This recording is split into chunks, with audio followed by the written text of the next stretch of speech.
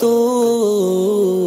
एहतलाम की हालत में क्या रोज़ा रख सकते हैं? रात को सोए और शहरी के वक्त देखा तो नापाकी की हालत थी।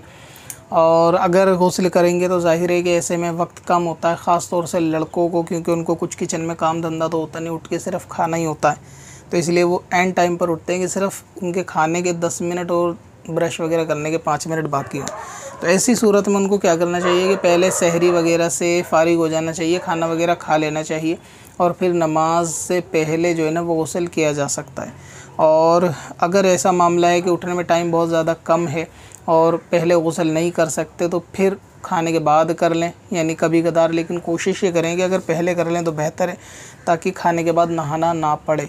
और अगर किसी ने नापाकी की हालत में रोज़ा रख लिया तो भी रोज़ा उसका हो जाएगा, यानी उसी हालत में अगर शहरी वगैरह करेगा, रोज़ा हो जाएगा।